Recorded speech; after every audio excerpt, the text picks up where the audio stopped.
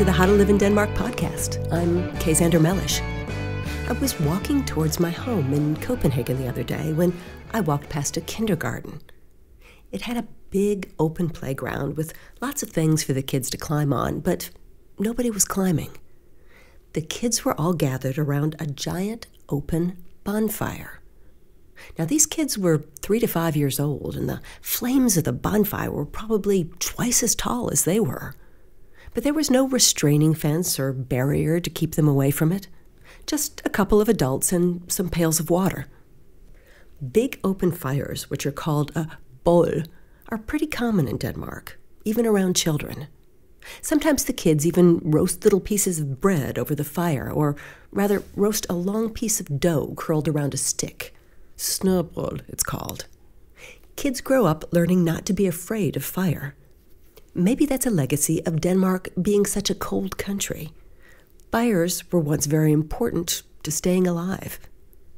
Even at Tivoli in the winter, you'll see open containers of flaming hot coals.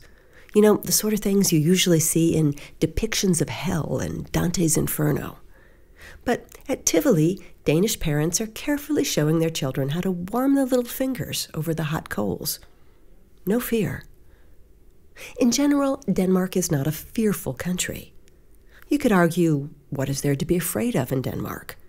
It seems like a safe little corner of the world.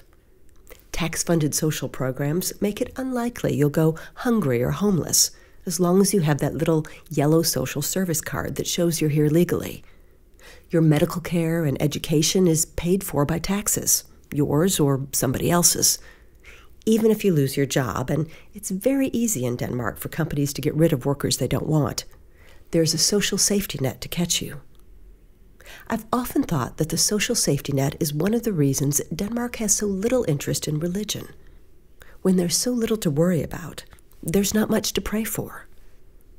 Denmark also has little of the open competition that can make life so stressful in competitive nations like China or India or the US. Danish culture prizes consensus, not competition, and Danish children don't get any formal grades in school until they're in their teens. Any type of non sports competition is discouraged. My 10 year old daughter's teacher caught the kids comparing their marks on a spelling test, and she told us parents about it, very disapprovingly. They shouldn't have been comparing themselves to each other, she said. They all have different abilities. So, the fear that kids live with in many parts of the world of not being the best in class, of not being able to get into a good secondary school or college, of, of being crossed off the list at a very young age, is largely absent in Denmark. Of course, Denmark is not immune from the world's bigger fears war, climate change, terrorism. There was a terrorist attack a few months ago in Copenhagen, the first big one since the mid 1980s. That time, two large bombs went off downtown. Now, in that 1980s attack, there were actually supposed to be three bombs. But as the third perpetrator tried to place his bomb on Vesterbrogade and walk away, an elderly lady stopped him and said, Excuse me, young man, you forgot your suitcase. He panicked and he took his bomb and ran away. But terrorism is still a real threat in Denmark, as it is all over the world. Probably the only time I'm afraid in Copenhagen is in Nørreport Station, a horrible, dark little underground shoebox that's the central point for all the trains in town. It is a prime target for any kind of nutcase, and the Danish police seem to know that. Whenever things are tense in the world, Denmark's usually invisible police force is highly visible at Nørreport. Nørreport is also a center for pickpocketing, which Denmark has mostly outsourced to foreign criminals. Denmark's own criminal gangs don't do pickpocketing. They specialize in narcotics, extortion, and strong arm debt collection. Danish criminal gangs are known as rockers, and they belong to motorcycle clubs like the Hells Angels or the Bandidos. Now, modern rockers don't look like those chic 1950s Marlon Brando types in black leather. They tend to be large, hairy guys in hoodie jackets and colorful vests. The truth is, a lot of these tough guys also get Danish welfare payments, about half according to the Danish tax service. They either claim disability or say they're simply unable to find a job. Of course, they're supposed to go to job centers for retraining in order to get their benefits, but they never do, and if the caseworker tries to cut off those benefits, things can get ugly for that caseworker pretty fast.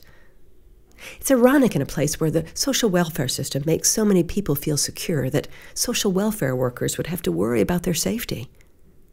You know, in fact, if Danes have a real fear, it's that something will happen to their safety net. And you can see that beneath what is often expressed as a fear of immigration, of, of immigrants, of the outside world. If all these people come here from other places, can we still keep our welfare system? That's a Danish fear. And that's the How to Live in Denmark podcast for this week. You can get the How to Live in Denmark book. It's so many places now. You can get it at Denmark's National Museum in the gift shop. You can get it at the Politikens uh, on Rådhuspladsen.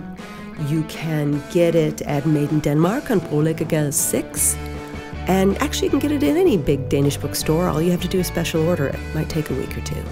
You can also get it online at howtoliveindenmark.com or the e-version at amazon.com or saxo.com or on Apple's iBooks. We get around, even Google Play. We're even on Google Play. In Google Play, you can get both the Chinese and the English version.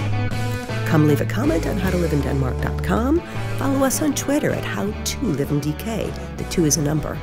Or come chat with us on Facebook at How to Live in Denmark. See you next time.